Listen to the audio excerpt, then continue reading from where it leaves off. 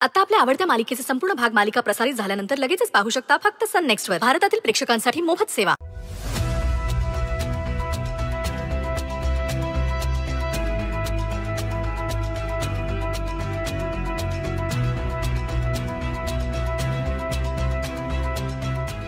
कुठे?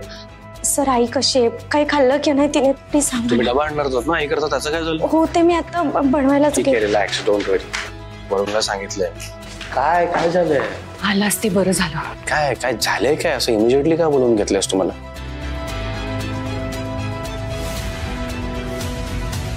जानू काय झालंय? सी तू डिरेक्टली फ़ोन केला आणि आलोय मी. मला सांग ना काय झालं इज़ एव्हरीथिंग ओके अरे काहीच ठीक नाहीये. सगळंच बिनसलंय. असं नको ना बोलूस. मला सांग ना डिटेल मध्ये. मला टेन्शन येते काय झालंय? नीट सांग. अरे सई आता वर्क फ्रॉम होम जॉब करते ना। हा वर्क फ्रॉम होम सही वर्क फ्रॉम होम करतायत मला तर काहीच आयडिया नव्हती याची। ओके फाईन त्याचं काय तर तिच्या ऑफिसमधला एक माणूस कामानिमित्त आपल्या घरी आला होता. आणि नेमक्या त्यावेळेला ताई आल्या. आणि तुला तर माहितीये ना ताईला सईनी बाहेर जॉब केलेला नाही चालणार आहे. त्याला बघून ताई इतक्या चिडल्या. आणि आता तर ताईनी असं सांगितलं की सईनी घराबाहेर पाय सुद्धा ठेवायचं नाही. रेंज ताईला काय प्रॉब्लेम असू शकतो? आय मीन जॉब करण्याबाबतीत तेच ना. आता तूच समजव ताईंना. आधीच सईची आई हॉस्पिटलमध्ये. अशात ती कशी काय जाऊ शकेल त्यांना भेटायला? आणि तिचा जीव तरी राहील का? आणि सुमनताई, अशा परिस्थितीत त्यांना असं वाटणारच ना की आपली लेख आपल्या जवळ असावी? मला माहिती त्या त्यांच्या आईवर खूप प्रेम करतात.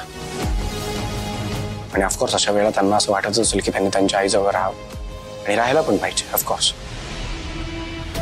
okay don't worry मी बोलतो आईशी. तुम्ही प्लीज़ शांत व्हा. रडू नका. चालू सई शांत राहा तू बाळा।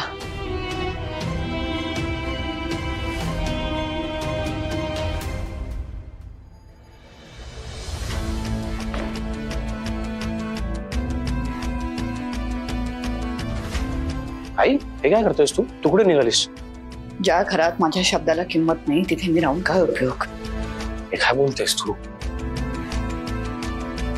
आई अगं या घरात तुझ्या शब्दाला जितका रिस्पेक्ट आहे तितका कुठल्याच गोष्टीला नाही and you know that yes you absolutely right पण हे सगळं आधी होतं. ती सई या घरात आल्यानंतर सगळंच बदललंय. काय काय काय बदललंय? काय बोलतेस तू? या घरात तुझी जी जागा आहे आयुष्यभर तीच राहणार आहे. मग तूच मला सांग. मी घरात जे काही बोलते, जे काही डिसिजन्स घेते, ते काय फक्त स्वतःसाठी घेते का? सगळ्यांच्या भल्याचा विचार करूनच डिसिजन्स घेते ना? मग सई अशी का वागते? मी तिला सांगितलं होतं की तिने जॉब करायचा नाही, पण तरीही तिने जॉब केला. मी काय तिला त्रास द्यायला हे सगळं सांगते का? तिला कळतच नाहीये. जहागीरदारांची सून. कुठल्या तरी चीप कंपनीत जाऊन जॉब करणार. कसं वाटेल बघायला? आता तूच मला सांग. यात माझं काय चुकलं? आपले इतके वाईट दिवस आलेत का? की जहागीरदारांच्या सुनेने कोणाच्या तरी हाताखाली जाऊन जॉब करावा? नाही आवडलं मला हे सगळं. आणि वहिनी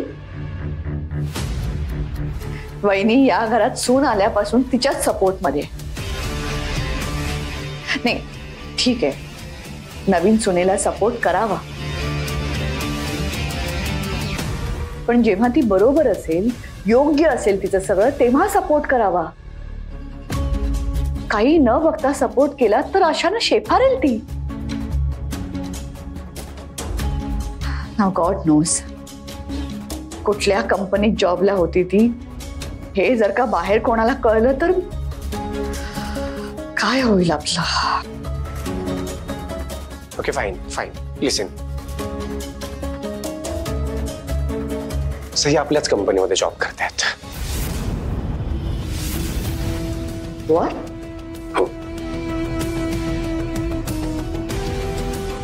म्हणजे मला मला आतापर्यंत वाटत होतं की वहिनीने ही गोष्ट माझ्यापासून लपवून ठेवली आहे. मला अंधारात ठेवलंय, पण तुला सुद्धा सईच्या जॉब बद्दल माहिती होतं. नाही नाही नाही, सी सी, तू प्लीज़ मिसअंडरस्टँडिंग करून घेऊ नकोस सी, मी मी मी सगळं एक्सप्लेन करतो, ऐक. सैन्य जॉब केलेलं तुला आवडणार नव्हता. पण त्यांना जॉब करणं फारच गरजेचं होतं, कारण त्यांच्यावर जबाबदारी होती, त्यांच्या आईची आणि त्यांच्या भावाची राईट त्यामुळे त्यांनी तर ठरवलंच होतं की त्या जॉब करणारच. म्हणून मग मी त्यांना आपल्या कंपनीचा ऑफ़र दिला. की आपल्या कंपनीमध्ये जॉब करा. पण सई स्वाभिमानी. त्यांना माझ्या ओळखीवर नाही. स्वतःच्या टॅलेंटच्या बेसिसवर जॉब मिळवायचा होता. माझ्याकडे दुसरं कुठलं ऑप्शन नाही उरलंय. म्हणून मग मी मी आपल्याच एका सिस्टर कंपनीमधनं त्यांना जॉब ऑफ़र केला. सो बेसिकली सई आता ज्या कंपनीमध्ये जॉब करतायत ती आपलीच कंपनी आणि आणि त्यांना नाही माहिती की त्या जहागीरदारांच्याच कंपनीत जॉब करतात ते. स्वाभिमानी सई.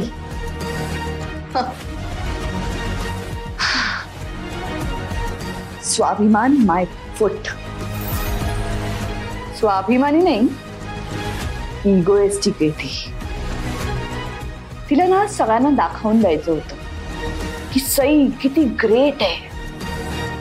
म्हणून तिने आपल्या कंपनीतल्या जॉबला धुडकावून लावलं.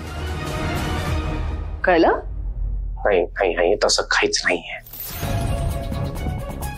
तू आता तिची बाजू घेऊन बोलणार आहेस का माझ्याशी? आय एम सॉरी आई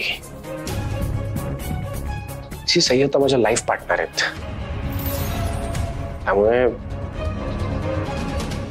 मी तर मग करेक्ट तिची बाजू तू नाही समजून घेणार किती वागली ती तुझ्याशी? तरीही तिच्यासाठी जॉब म्हणून तू एवढे प्रयत्न केलेस. एक उत्तम नवरा कर्तव्य पार पाडलंस. आणि ती तिला जॉब मिळावा म्हणून एका मॅच्युअर्ड आणि जबाबदार नवऱ्यासारखं एखादा माणूस जे काही करेल ना ते सगळं तू केलंस. पण तिने काय केलं? ती जॉब करते. काहीतरी वर्क फ्रॉम होम जॉब तिला मिळालाय म्हणून. तुला सांगितलंय का तिने? देवांश मला सांग तुझ्या लग्नात जो काही गोंधळ झाला त्याला जबाबदार आपण त्या अंजलीला आणि तिच्या आईला त्या ललिताला धरतोय. पण खरं कल्प्रेट कोण आहे सांग? सई. तिने जर का तुला आधीपासूनच सगळं खरं सांगितलं असतं तर गोष्ट लग्नापर्यंत पोहोचलीच नसती.